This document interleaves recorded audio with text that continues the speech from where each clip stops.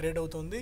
ఇవాళ ఓపెనింగ్ నుంచి ఒక వంద పాయింట్ల మేర మనకి వీక్నెస్ కనిపిస్తుంది. ఇవాళ డేస్ హై నుంచి చూసుకుంటే ten thousand three ninety seven and ten thousand మనకి త్రీ హండ్రెడ్ అంటే ఆల్మోస్ట్ మనకి క్లియర్గా వంద నూట పది పాయింట్ల నష్టం కనిపిస్తుంది. పీక్ లెవెల్స్ నుంచి ఇవాళ ఇంటర్డే హై నుంచి మనం చూసుకున్నట్టయితే సో ఈ వీక్నెస్ మిడ్ అండ్ స్మాల్ క్యాప్స్లో కూడా కొనసాగుతుంది. మిడ్ అండ్ స్మాల్ క్యాప్ ఇండెక్స్లో ఆల్మోస్ట్ ఒక హాఫ్ పర్సెంట్ మేర నష్టపోయి బ్యాంకింగ్ రిలేటెడ్ స్టాక్స్లో కూడా మనకి ఒక హాఫ్ పర్సెంట్ మేర ఇండెక్స్లో నష్టం కనిపిస్తుంది. ఎస్పెషల్లీ మనకి ఆటో సెక్టార్లో టూ అండ్ హాఫ్ పర్సెంట్ మేర ఎఫ్ఎంసీజీ ప్యాక్లో టూ పర్సెంట్ మేర PSU banks private banks reality స్పేస్లో కూడా మనకి ఇండెక్స్ నుండి భారీగా నష్టపోతున్నాయి. ఒకటి ఆటో ప్యాక్లో టాటా మోటార్స్ ప్రధాన కారణంగా చెప్పుకోవచ్చు. ఇండెక్స్ ఈ స్థాయిలో నష్టపోవడానికి దాదాపు పదహారు పదిహేడు శాతం మేర టాటా మోటార్స్ నష్టపోయింది. ఏడు సంవత్సరాల కనిష్ట స్థాయికి స్టాక్ దిగి వచ్చింది. ఎందుకంటే చైనాలో సేల్స్ బాగా తగ్గిపోతున్నాయి. అండ్ అక్టోబర్ నెలలో లాస్ట్ రెండు వారాలు ప్లాంట్ని సెట్ చేయబోతుంది అంటే డిమాండ్ లేక కొత్త కార్లు తయారు చేయాల్సిన అవసరం లేక డిమాండ్ లేని కారణంగా ప్లాంట్ రెండు వారాల పాటు మూసివేసే పరిస్థితి టాటా మోటార్స్ ఉంది. దానివల్ల ఈ వీక్నెస్ చూస్తున్నాం. ఎందుకంటే ఆ రెండు వారాల పాటు ప్రొడక్షన్ నష్టపోగా బట్ ఎంప్లాయీ శాలరీస్ కూడా చెల్లిస్తామని చెప్పి టాటా మోటార్స్ చెప్పింది. పరోక్షంగా మార్జిన్స్ మీద కూడా ఇంపాక్ట్ అవుతుంది కాబట్టి ఈ టాటా మోటార్స్లో ఈ వీక్నెస్ ఇంకా స్టిల్ కొనసాగుతూనే ఉంది. ఎఫ్ఎంసీజీ స్పేస్లో ఇవాళ ఇవాళ most of the stocks like Emami నష్టపోయింది మ్యారికో నష్టపోయింది డాబర్ నష్టపోయింది. స్టాక్స్ అని కూడా బాగా వీక్గా ట్రేడ్ అవుతూ వస్తున్నాయి ఎప్పటిదాకా ఇనిషియల్ మార్కెట్ కామెంటరీ తీసుకుందాం తర్వాత ఇంకా స్టాక్ స్పెసిఫిక్ కామెంట్స్ గురించి మనం తెలుసుకుందాం. గుడ్ ఆఫ్టర్నూన్ అండి. ఇక లాస్ట్ ఫిఫ్టీన్ ట్వంటీ మినిట్స్ నుంచి సెల్ ఆఫ్ బాగా ఇంటెన్సిఫై అయింది. బట్ కొద్దిగా below ten thousand two hundred ఉండేది. Ten thousand two eighty levels నుంచి టెన్ థౌసండ్ త్రీ హండ్రెడ్ దాకా ఒక చిన్న ఒక వంద పాయింట్ ఇప్పుడు ఇరవై పాయింట్ల దాకా రికవరీ అయితే వచ్చింది. సో ఎలాంటి వ్యూతో ఈ టైంలో మీరు ఉన్నారు? చూడండి, అంటే రికవరీ అనేది సస్టైన్ కావట్లేదండి. మనకి రికవరీలు వస్తున్నాయి. లో నుంచి మంచి రికవరీ వచ్చింది. ఈరోజు ఈ రోజు కానీ చూసుకుంటే మనకి ఒక టైంలో జస్ట్ మనకి ఒక half an hour forty five minutes back the Nifty bank Nifty day హైస్కి వచ్చాయి అనమాట దగ్గర దగ్గరగా తర్వాత మళ్ళీ ఒక ఒక ట్వంటీ ట్వంటీ ఫైవ్ మినిట్స్లో విత్ ఇన్ మినిట్స్లో మనకి చూసాము చాలా షార్ప్ కట్స్ వచ్చేసాయి. అటు నిఫ్టీ అండ్ బ్యాంక్ నిఫ్టీ. దాదాపు అన్ని స్టాక్స్ కూడా హై నుంచి హెవీగా కరెక్ట్ అవుతూ వచ్చాయి. ఇప్పుడు లాస్ట్ ఒక ఫిఫ్టీన్ ట్వంటీ మినిట్స్లో మార్కెట్ని కిందకి తీసుకురావడంలో ప్రధానంగా రిలయన్స్ ఒకటి నిన్నటి రోజు షార్ట్ కవరింగ్ ర్యాలీ చూసాము బట్ మళ్ళీ ఈరోజు డౌన్ ట్రెండ్ అనేది ఈ కౌంటర్లో కనపడింది. ఈరోజు ప్రధానంగా చూసుకుంటే నిఫ్టీకి ఇప్పటివరకు డ్యామేజ్ చేసిన కౌంటర్స్లో ఎక్కువగా టాటా మోటార్స్ ఉంది. ఆటోమొబైల్ ప్యాక్ తర్వాత ఎఫ్ఎంసీజీ ప్యాక్ ఇంతకుముందు మీరు మెన్షన్ చేసినట్టుగా ఎఫ్ఎంసీజీ ప్యాక్ చాలా స్ట్రాంగ్గా డౌన్ ట్రెండ్లో ఈరోజు ఎంటర్ అయిందని చెప్పొచ్చు. ఇన్ని రోజులు కొంచెం పర్లేదు అనిపించిన ఎఫ్ఎంసీజీ కూడా వీక్ అయిపోయింది. సో ఈ విధంగా ఒక్కొక్క సెక్టార్లో స్ట్రాంగ్ ఉన్న సెక్టార్లు వీక్ అవుతున్నాయి. స్ట్రాంగ్ ఉన్న కౌంటర్స్ వీక్ అవుతున్నాయి. బట్ ఎక్కడ ఈ ఫాల్ ఆగుతుందని చెప్పలేం. బట్ ఏదైనప్పటికీ కూడా టెన్ థౌసండ్ టూ హండ్రెడ్ అనేది చూడాలి. షార్ట్ టర్మ్ అంటే ఇక్కడ నుంచి ఒక వంద పాయింట్లు డౌన్ సైడ్ మనం అక్కడ కొంచెం ఏమైనా సపోర్ట్ తీసుకుంటుందే చూ- చూడాలి. అయితే గ్లోబల్ క్యూస్ కూడా లాస్ట్ ఫ్యూ డేస్గా మనకి అంత ఎంకరేజింగ్గా లేవు. అది కూడా ఒక కారణం అని చెప్పొచ్చు. అటు లోకల్ క్యూస్ గ్లోబల్ క్యూస్ అన్నీ కలిపి మా మార్కెట్ మీద బాగా ప్రభావం చూపిస్తున్నాయి. ఇప్పుడు ప్రస్తుతానికైతే మాత్రం మార్కెట్స్ ఒక డౌన్ ట్రెండ్లోనే ఇంకా కొనసాగుతున్నాయి. అయితే షార్ట్ టర్మ్ ట్రెండ్ అనేది ఈ డౌన్ ట్రెండ్ నుంచి ఒక షార్ట్ కవరింగ్ ర్యాలీ అనేది ఒక ఎప్పుడైనా ఎప్పుడైనా రావచ్చు. అది ఎప్పుడు వస్తుందని చెప్పడం కష్టం. అదొకటి డ్యూ ఉంది తప్ప మిగతా ఇంటర్నల్ ఫ్యాక్టర్స్ అన్నీ కూడా చాలా వరకు నెగిటివ్గా మనకు చూపిస్తున్నాయండి. సో ఇవాళ ఇంతకుముందు మీరు అన్నట్టు మనం మా ఇనిషియల్ కామెంట్స్ కూడా డిస్కస్ చేసుకున్నట్టు ఎఫ్ఎంసీజీ ప్యాక్ ఇంతకాలం కాస్త ఫ్రంట్ రన్లో ఉండేది ఒక డిఫెన్సివ్ బెట్గా ఉండింది when compared with most of the sectors ఎందుకంటే ఈ కన్జంప్షన్ థీమ్ రిలేటెడ్ నేపథ్యంలో స్టాక్స్ని బాగా పెరిగాయి. లైక్ ఇమామి బాగా మంచి రిటర్న్స్ ఇచ్చింది డాబర్ మ్యారికో ఈ స్టాక్స్ని కూడా నెస్లే లాంటి కంపెనీస్ని బాగా పెరిగాయి. కాకపోతే సడన్గా ఇవాళ ఆ ఎఫ్ఎంసీజీ ప్యాక్లో షార్ప్ సెల్ ఆఫ్ మనకు కనిపిస్తుంది. సో ఇంతకుముందు మీరు అన్నట్టు సెక్టార్ రొటేషన్లో భాగంగా ఈ స్టాక్స్ అన్ని పడుతున్నాయి అనుకోవాలా అవునండి. అంటే ఒకటి ఇప్పుడు ఇప్పుడున్న మార్కెట్ ఏ విధంగా ఉందంటే ఏ దేంట్లో ఇప్పుడు ఒక ఇన్వెస్టరో లేకపోతే ఒక మీ పెద్ద ఫండ్ కానీ ఉంటే ఒక పది స్టాక్స్ పోర్ట్ఫోలియోలో ఉంటే ఇప్పుడు ఐదారు స్టాక్స్ నష్టాల్లో ఉంటాయి. ఇంకొక ఐదారు స్టాక్స్ ప్రాఫిట్లో ఉంటాయి. ఇప్పుడు ఏం చేస్తున్నారంటే ఈ ప్రాఫిట్స్ ఉన్న స్టాక్స్లో మళ్ళీ అవి కూడా నష్టాల్లోకి రాకముందు రాక రాకముందే ముందు జాగ్రత్త పడి వాటిట్లో ప్రాఫిట్ తీసుకోవడం చూస్తున్నాం అనమాట ఆ విధమైన మూవ్స్ అనేది ఇప్పుడు కనపడుతున్నాయి. ఎందుకంటే ఏవైతే స్ట్రాంగ్ ఉంటాయో నేను లాస్ట్ ఫ్యూ డేస్గా మనకి ఐటీ కంపెనీస్లో మనకి సెల్ ఆఫ్ చూసాము. సెల్లింగ్ ఇన్ని రోజులు స్ట్రాంగ్ ఉంది. తర్వాత ఈరోజు ఎఫ్ఎంసీజీలో చూస్తున్నాము. ఎఫ్ఎంసీజీ కూడా ఇన్ని రోజులు పర్లేదు ఎంతో కొంత పర్లేదు. ఆ తర్వాత కొన్ని ఫార్మా కంపెనీస్ కూడా పడడం స్టార్ట్ అయినాయి. సో ఇక్కడ ఏంటంటే ఒక సెక్టర్ అని కాదు ఎక్కడ మనకి ప్రాఫిట్స్ ఉంటే ప్రాఫిట్ తీసేసుకుంటున్నారు. అంటే మార్కెట్స్ ఇంకా మరింత అంటే అంత భయపెట్టాలని కాదు మరింత కిందకు వచ్చే అవకాశాలు ఉన్నాయనే ఒక భయాందోళన కూడా మార్కెట్లో ఉన్నాయి. సో దాని కారణంగా ఏంటంటే ఎక్కడికక్కడ ప్రాఫిట్ తీసుకుంటున్నారు. దీనికి దీనికి తోడు కొన్ని టెక్నికల్ రీజన్స్ అంటే ఓవరాల్ మార్కెట్ పడడానికి కూడా మనకి టెక్నికల్ రీజన్స్ కొన్ని ఉంటాయండి. మార్జిన్ ప్రెషర్ ఒకటి తర్వాత మ్యూచువల్ ఫండ్ నుంచి రిడెంప్షన్స్ ఇవన్నీ కూడా మార్కెట్లో స్టార్ట్ అవుతాయి స్లోగా. సో అవి కూడా ఒక కారణం అని చెప్పొచ్చు. సో టాటా మోటార్స్ ఒకటి ఇవాళ బాగా వీక్గా ఉంది. And one of the most discussed స్టాక్గా ఉంది ఇవాళ.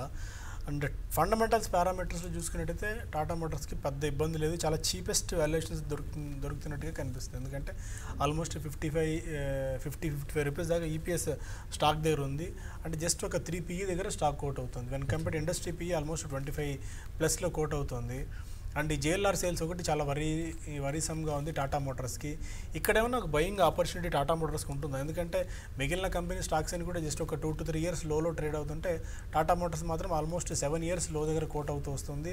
చాలా అక్కడి నుంచి అంటే లాస్ట్ సెవెన్ ఇయర్స్లో చాలా స్ట్రాంగ్ మోడల్స్ మనం టాటా మోటార్స్ నుంచి రావడం చూస్తున్నాము. బట్ ఇక్కడ ఏమన్నా ఒక కాంట్రారియన్ బెట్ కింద టాటా మోటార్స్ పిక్ చేసుకునే ఛాన్స్ ఏమైనా ఉందా? చూడండి ఇది కొంచెం డిఫికల్ట్ ఆన్సర్ అండి. మెయిన్ రీజన్ చెప్పాలి అంటే మీరు అన్నట్టుగా వాల్యుయేషన్స్ పరంగా అంటే ప్రస్తుతం ఉన్న వాల్యుయేషన్స్ పిఈ అంటే పిఈ వాల్యుయేషన్స్ అంటాము అవి పరంగా ఓకేనండి. బట్ గ్రోత్ మనం చూసి బిజినెస్ అండ్ గ్రోత్ చూడాల్సి ఉంటుంది. ఆ ఆ యాంగిల్లో ఆలోచిస్తే బిజినెస్ పరంగా మనం చూస్తున్నాము అటు డొమెస్టిక్గా అయితే ఆల్మోస్ట్ మీకు అందరికి తెలిసిందే టాటా మోటార్స్ అనేవి ఒక ట్రక్స్తో తప్ప అటు అటు ఫోర్ వీలర్స్లో ఆల్మోస్ట్ ఐ మీన్ కార్ సెగ్మెంట్లో దాదాపు లేనట్టే అని చెప్పాలి. ఆ ట్రక్స్ పరంగా పర్లేదండి okay. At the same time మనకి ఈ జాగ్వార్ మీద చాలా హోప్ ఏంటంటే టాటా మోటార్స్ ఈరోజు ఈ ప్రైస్లో ఉంది అంటే కూడా జాగ్వారేనండి అయితే అక్కడ లాస్ట్ ఫస్ట్ లాస్ట్ ఒక ఆరు నెలలుగా చూసుకుంటే మనకి ఒక కంట్రీ నుంచి ఇంకో కంట్రీకి సేల్స్ పరంగా తగ్గుతూ వస్తాయి. ఫస్ట్ యూరోప్లో ఉన్నారు తర్వాత అమెరికాలో ఉన్నారు తర్వాత చైనాలో. ఈ విధంగా ప్రతి కంట్రీలోనూ జాగ్వార్ సేల్స్ తగ్గుతూ వస్తున్నాయి. దాని ప్రభావం దీని మీద ఉంది. బట్ వాల్యూ పరంగా వాల్యూ ఉందండి. స్టాక్లో మంచి వాల్యూ ఉంది. అందులో డౌట్ లేదు. అంటే వాల్యూ అనేది స్టాక్ పడుతూ ఉంటే మనకి వాల్యూ అనేది మనం బై చేసుకోవడానికి అనుకూలంగా ఉంది అనుకుంటాం. అంటే మనం ఒకప్పుడు పది రూపాయల వస్తువుని మనం ఎంతలో ఒక నాలుగు వందల నుంచి నాలుగు వందల నుంచి పడుతూ వచ్చింది. అది ఈరోజు నూట ఎనభైలో జరుగుతుంది. మనకి అంటే దగ్గర సిక్స్టీ పర్సెంట్ డిస్కౌంట్లో ప్రైస్ జరుగుతుంది. కాబట్టి ఇంకొంచెం కరెక్షన్ అయితే ఇంకా ఉంటుందండి. ఇంకొంచెం డౌన్ ట్రెండ్ ఉంటుంది. బట్ అండ్ బాగా పెరిగిపోయి మల్టీ బ్యాగర్ అవుతుంది అయితే నేను అనుకోనండి ఈ స్టాకు. ఎప్పుడైతే మళ్ళీ జాగ్వార్ సేల్స్ పెరగడము లేదా మళ్ళీ ఇంకొక ప్రాబ్లం కూడా ఉందండి. మళ్ళీ యూ మ- మళ్ళీ ఓల్డ్ ఎకానమీ దెబ్బతినిందంటే ఆటోమేటిక్గా ఈ ఈ స్టాక్ బాగా ప్రభావం చూపిస్తుంది. ఈ ఎందుకంటే జాగ్వార్ అనేది వరల్డ్ వైడ్గా సేల్స్ సేల్స్ మీద ఆధారపడి ఉంటుంది కాబట్టి. సో ఆ యాంగిల్ కూడా ఆలోచించాలి. బట్ ఇది ఇదేంటంటే కొంచెం బెట్ బెట్ చేసుకునే టైం అనమాట అంటే లాంగ్ టర్మ్కి రెండు మూడు ఏళ్ళు ఉద్దేశం ఉంటే కొంత కొంత కొనుక్కోవడానికి అనుకూలంగా ఉందనుకుంటాను. ఓకే. అండ్ ఇవాళ ఎనీ అదర్ స్టాక్స్ మీరు ఐడెంటిఫై చేసిన ట్రేడింగ్ ప్యాటర్న్స్ ఉన్నవి అండ్ ఎక్కువ ట్రేడ్ జరిగినవి. అండ్ రేపటి కోసం ఏదైనా ఎస్టీబీటీ ఆర్ బీటీఎస్టీ ఏదైనా ఇండెక్స్లో కానీ ఆర్ఎల్స్ స్టాక్స్లో కానీ ఆపర్చునిటీస్ ఉన్నాయా? చూడండి ట్రేడింగ్ పరంగా చూసుకుంటే మనకి కొన్ని కొన్ని స్టాక్స్ స్ట్రాంగ్ ఉన్నవి వీక్ అయినాయండి. అందులో భాగంగా జేఎస్డబ్ల్యూ స్టీల్ ఒకటి మన నిన్నటి రోజు బాగా స్ట్రాంగ్ ఉంది. ఈ రోజు మార్నింగ్ నుంచి వీక్ అవుతూ వచ్చింది. దాన్ని పొజిషనల్ ట్రేడర్స్ సెల్ చేయమసుకోమంటాను. దీంతోపాటు మెటల్ కౌంటర్స్ని కూడా నిన్న కూడా చెప్పాను. సెల్ చేసుకోవచ్చు. ఇంకా బ్యాంకింగ్ కూడా సెల్ చేసుకోవచ్చు. బట్ బ్యాంకింగ్ ఏంటంటే బాగా ఓవర్ సోల్డ్లో ఉన్నాయి. కొన్ని కొన్ని బ్యాంక్స్ షార్ప్గా ర్యాలీ కూడా రావచ్చండి బ్యాంకింగ్ బ్యాంకింగ్ స్టాక్స్లో కాబట్టి కొంచెం జాగ్రత్తగా ఉండమంటాం మనం ఓవరాల్గా అటు రూపీ పరంగా కూడా చూసుకుంటే కొంచెం మరీ ఎక్స్ట్రీమ్ అంటే బాగా వీక్ అయిపోయి ఉంది ఓవర్సోల్లో ఉంది కాబట్టి అక్కడ రూపీ దాంట్లో కూడా కొంచెం నేను అనుకోవడం రూపీ స్ట్రెంతన్ అయ్యే అవకాశాలు నెక్స్ట్ రెండు మూడు రోజుల్లో ఉండ ఉండొచ్చండి. అది కానీ జరిగితే కొంచెం బ్యాంక్స్లో ర్యాలీ రావచ్చు. కాబట్టి మెటల్స్ వైపు వెళ్ళమంటారండి బెస్ట్ ఇప్పుడున్న ప్రకారం. మెటల్స్లో తర్వాత హై బీటా స్టాక్స్లో కూడా సెల్లింగ్ వెళ్ళవచ్చు. ఓకే. అండ్ రేపటి రేపటి రోజున మార్కెట్ని ప్రభావితం చేసే అంశాలు ఏమైనా కనిపిస్తుంది అదల్స్ ఎనీ అదర్ స్టాక్స్ రాడార్లో ఉంచుకోవాల్సిన అవసరం. లైక్ ఇప్పుడే మీరు మెటల్స్ అన్నారు. అది కాకుండా స్టాక్ స్పెసిఫిక్ లైక్ ఎఫ్ఎంసీజీ ప్యాక్లో కానీ ఆర్ఎల్స్ రిలయన్స్ లాంటి స్టాక్స్లో కానీ రిలయన్స్ మళ్ళీ వీక్ జోన్లోకి వచ్చింది. మళ్ళీ ఇది um, ఫ్రెష్ బయింగ్ వెళ్ళడమా లేకపోతే ఫ్రెష్ షార్ట్ వెళ్ళడమా అనేది రేపు ట్రెండ్ని బట్టి డిసైడ్ చేసుకోవాల్సి ఉంటుందండి. ప్రస్తుతానికైతే వీక్గా ఉంది. తర్వాత వేరే స్టాక్స్ ఏదైనా చూడాలంటే రేపటి రోజు సెల్లింగ్కి నేను కూడా ఇండియా బుల్స్ హౌసింగ్ని కూడా కన్సిడర్ చేయొచ్చు అండి ఈరోజు కొంచెం పాజిటివ్గా ఉంది. బట్ హై నుంచి మళ్ళీ ట్రెండ్ రివర్సల్ ప్యాటర్న్ చూసాము. కాబట్టి India Bulls Housing risky traders ఇది కొంచెం ఏంటంటే వోల్టాలిటీ ఎక్కువ ఉంటుంది. దీనికి స్టాప్ లాస్ పది పన్నెండు రూపాయలు కాకుండా ఒక అట్లీస్ట్ ఒక థర్టీ రూపీస్ దగ్గర స్టాప్ లాస్ పైన పెట్టుకుంటే క్లోజింగ్ బేసిస్లో నైన్ ఎయిటీ ఆ లెవెల్లో స్టాప్ లాస్ పెట్టుకుంటే nine nine nine nought two తర్వాత ఎయిట్ నైంటీ సిక్స్ ఆ లెవెల్స్ రాక రావచ్చు. అండ్ ఒక స్టాక్ యాక్షన్ కన్స్ట్రక్షన్ ఎక్విప్మెంట్స్ మీరు గతంలో అనేక సందర్భాలు మనం డిస్కస్ చేసుకున్న స్టాక్ కూడా యాక్షన్ కన్స్ట్రక్షన్ ఎక్విప్మెంట్స్ ఎనభై రూపాయల దగ్గర ప్రస్తుతం స్టాక్ కోట్ అవుతుంది. ఇది కూడా బాగా పీక్ నుంచి almost one eighty one nine one eighty one eighty levels నుంచి స్టాక్ త్రిబుల్ డిజిట్ నుంచి డబుల్ డిజిట్లోకి వచ్చేసింది. అక్టోబర్ టూ థౌజండ్ సెవెంటీన్ ప్రైజ్లో ప్రస్తుతం ఈ స్టాక్ కోట్ అవుతుంది అటు ఇటుగా. సో ఇంకా ఇందులో పెయిన్ ఉండే అవకాశం ఏదైనా ఉందా? ఆర్ఎల్స్ ఈ స్టాక్లో కొద్దిగా కొద్దిగా గొప్ప పికింగ్ చేసుకునేందుకు ఏమైనా ఆపర్చునిటీ ఉందా? చూడండి ఫస్ట్ మనం ఏ స్టాక్ పిక్ చేసుకోవాలన్నా కూడా ఫస్ట్ మార్కెట్ ఆగాలండి. మార్కెట్ మనకి ఆకపోతే మనం ఏ స్టాక్లో కూడా ప్రాఫిట్స్ అనేది I mean profits immediate profits చూడలేమన్నమాట. First trend ఏంటంటే మార్కెట్ ఈ విధంగా ఈ ప్యానిక్ అనేది మార్కెట్ లాగితేనే మనం కన్సిడర్ చేయొచ్చు. బట్ స్టాక్ పరంగా అయితే మాత్రం నేను ఇంకా స్టిల్ బులిష్ ఉన్నాను. అంటే బులిష్ ఇన్ ద సెన్స్ రేపు రేపు ఈరోజు కొనేసి రేపు ట్వంటీ పర్సెంట్ లేకపోతే ఒక త్రీ మంత్స్లోనే రిటర్న్స్ కోసం అయితే నేను సైజ్ చేయనండి. అట్లీస్ట్ ఒక one and half year view ఉంటే యాక్షన్ కన్స్ట్రక్షన్ తీసుకోవచ్చండి. అది కూడా ఏంటంటే ఒకే టైంలో కాకుండా కొంచెం కొంచెం కొనుక్కుంటూ పోయాలి వెళ్ళవచ్చు. మెయిన్ రీజన్ చెప్పాలంటే చాలా స్ట్రాంగ్ గ్రోత్ అనేది కనపరుస్తున్నారండి వీళ్ళు. Twenty five percent growth continues two two to three quarters twenty plus growth అనమాట సో ఇటువంటి టైంలో అంటే మంచి టైం అనమాట ప్రైస్ పరంగా కూడా కరెక్షన్ వచ్చింది కాబట్టి ఒక రెండేళ్ళు ఉద్దేశం ఉంటే యాక్షన్ కన్స్ట్రక్షన్ కొనుక్కోవడానికి అనుకూలంగా ఉందనుకుంటా. Okay fine. ఇంకా మార్కెట్స్ క్లోజింగ్ సమయం మనకి జస్ట్ ఒక సెకండ్స్లో కనిపిస్తుంది. So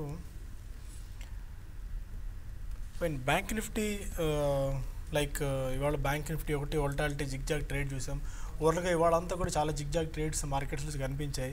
సో బ్యాంక్ నిఫ్టీ మీద ఎలాంటి పర్స్పెక్టివ్ ఉంది? ఫైనల్గా ఎయిటీ ఫైవ్ పాయింట్స్ డౌన్తో బ్యాంక్ నిఫ్టీ కనిపిస్తుంది. మన కంపేర్డ్ విత్ ఇండెక్స్తో పోల్చుకున్నట్టయితే బ్యాంక్ నిఫ్టీ కొద్ది కొద్ది గొప్ప స్ట్రెంత్ కనబరుస్తుంది. అవునండి. బ్యాంక్ నిఫ్టీ పర్ల పరంగా చూసుకుంటే కొంచెం పర్లేదు అనిపిస్తుంది అండి మెయిన్ ఉద్దేశం మెయిన్ రీజన్ చెప్పాలంటే కొన్ని కొన్ని బ్యాంక్స్ అంటే బ్యాంక్ మీ కొంత స్టడీగా స్ట్రెంత్ కనపరుస్తున్నాయి. దాని కారణంగా బ్యాంక్ నిఫ్టీ మనకి ఎంతో కొంత ఆగిందని చెప్పొచ్చు. అయితే at the same time like Axis bank ఒకటి కొంచెము వీక్నెస్ అనేది ఈరోజు డే అంతా కూడా కనపరు కనపరుస్తూ వచ్చింది. ఐసిఐసిఐ బ్యాంక్ కూడా కొంచెం వీక్ జోన్లోకి వచ్చింది. మరోవైపు మనం ఎస్ బ్యాంక్ ఒకటి చూస్తే ఇది లాస్ట్ ఫ్యూ డేస్గా చాలా స్ట్రాంగ్గా ఉంది. అయితే రేపటి రోజు మళ్ళీ ఎస్ బ్యాంక్ వీక్ కావచ్చు. కాబట్టి రేపటి ట్రేడింగ్ కోసం ఎస్ బ్యాంక్ని సెల్ చేయమంటాను. బట్ ఓవరాల్గా పొజిషనల్ ట్రేడింగ్ పరంగా మాత్రం ఎస్ బ్యాంక్ ఒక ఉన్న బ్యాంక్స్లో Yes bank buy and dips అండి. మిగతా బ్యాంక్స్ లైక్ యాక్సిస్ బ్యాంక్ కానివ్వండి ఐసిఐసిఐ బ్యాంక్ కానివ్వండి రెండు ఈ రెండు కూడా sell and rallies Yes bank మాత్రం బై అండ్ డిప్స్ అయితే ఎస్ బ్యాంక్ రేపు ఒక్క రోజు మాత్రం సెల్ అండ్ ర్యాలీస్ అని చెప్తాను సో లాస్ట్ um, ఇవాళ ఒక fifteen twenty minutes interesting trend ఏంటంటే ఎన్బిఎఫ్సిస్లో మళ్ళీ మనకు బయింగ్ కనిపించింది. లైక్ బజాజ్ ఫైనాన్స్ ఆల్మోస్ట్ ఒక ఫైవ్ పర్సెంట్ దాకా పెరిగింది. ఎల్ఎన్టీ ఫైనాన్షియల్ హోల్డింగ్స్ ఆల్మోస్ట్ ఒక ఫోర్ పర్సెంట్ దాకా పెరిగింది. బంధన్ బ్యాంక్ ఒకటి. ఇలా ఎంఎండ్ఎం ఫినాన్స్ ఇలా ఇదే స్పేస్లో ఉన్న కొన్ని ఎన్బిఎఫ్సిస్ రిలేటెడ్ స్టాక్స్ని బాగా పెరిగాయి లైక్ దివాన్ హౌసింగ్ ఫైనాన్స్ కూడా ఆల్మోస్ట్ ఒక టెన్ పర్సెంట్ దాకా వాళ్ళ సడన్ స్పర్ట్ ఎవరు ఎక్స్పెక్ట్ చేయలేదు దివాన్ హౌసింగ్ ఫైనాన్స్లో. సో టూ ఫార్టీ ఫోర్ దగ్గర స్టాక్ అవుట్ అవుతుంది. ఐఎఫ్ఎల్ హోల్డింగ్ సెవెన్ పర్సెంట్ దాకా పెరిగింది. JM finance almost seven percent దాకా సడన్గా ఇవాళ పెరగడం చూస్తున్నాము. Max Finserv.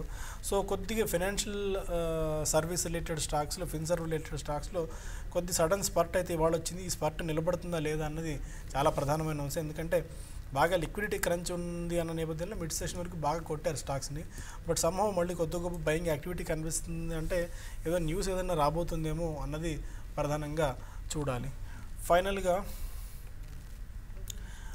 One seventy five points డౌన్తో మనకి Sensex and almost forty seven points డౌన్తో Nifty close అయింది. Ten thousand three nought one దగ్గర టెన్ థౌసండ్ త్రీ హండ్రెడ్ పైన నిఫ్టీ అయితే నిలబెట్టుకుంది. బ్యాంక్ నిఫ్టీ ఆల్మోస్ట్ తొంభై ఒక్క పాయింట్ల నష్టంతో ఇరవై నాలుగు వేల ఐదు వందల ఇరవై ఏడు పాయింట్ల దగ్గర బ్యాంక్ నిఫ్టీ ముగిసింది. సో ఐటీ ఇండెక్స్ ఒకటి ఇవాళ ఆల్మోస్ట్ ఒక కొద్ది గొప్ప ఒక హాఫ్ పర్సెంట్ మేర గెయిన్స్ ఉంది. Because of this rupee rupee almost seventy four thirty దాకా ఇవాళ మనం వెళ్ళడం చూస్తున్నాం. ఆల్ టైమ్లో దగ్గర లైఫ్ టైమ్లో దగ్గర రూపీ ప్రస్తుతం కొనసాగుతుంది. మిడ్ అండ్ స్మాల్ క్యాప్ ఇండెక్స్లు కూడా బాగా వీక్గా ఉన్నాయి. But when compared with mid cap small cap ఇండెక్స్లో ఇవాళ వీక్నెస్ బాగా ఎక్కువ ఉంది. ఎఫ్ఎంసీజీ ప్యాక్లో ఇవాళ ఆల్మోస్ట్ ఒక టూ పర్సెంట్ దాకా నష్టపోవడం చూస్తున్నాం. ఇది ఇక మోస్ట్ ఆఫ్ ది స్టాక్స్ మనం డిస్కస్ చేద్దాం. చేసాం. ఆ నోట్తో ఈ బులెటిన్ ఇక్కడ వైండప్ చేద్దాం. మళ్ళీ ఫోర్ ఓ క్లాక్కి క్లోజింగ్ రిపోర్ట్లో కలుద్దాం. Stay with us.